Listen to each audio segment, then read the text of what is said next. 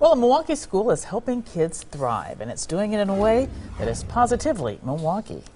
Where could we find the definition for blend? Welcome to a place where you can see the magic of learning. Healthy snacks are good to eat. We stopped by Miss Lustig's class at St. Coletta Day School. Here, students with learning challenges are prepared for the real world. We are um, essentially a learn at your own pace program for kids who learn differently. St. Coletta Day School was started in 1956. Right now, there are 24 students attending classes here, and teachers stress an individualized approach to education. And it's a program that gets high marks from parents. Ann Novotny has seven adopted children, two attending school here.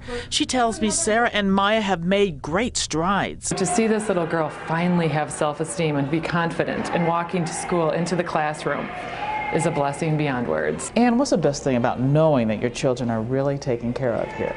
I know that every single day when they come to school, that they are happy, that they are cared for, and that they are learning the way they can. Students benefit from smaller classes and get individual attention from dedicated teachers and staff members.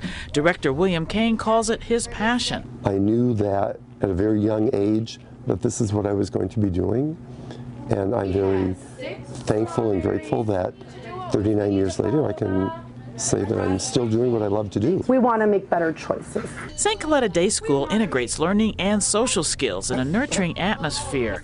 And chances are the right school will help these kids make the right choices for today and tomorrow. This is a place that has no limit to the good they do for people, for families, not just the kids in there, but the families.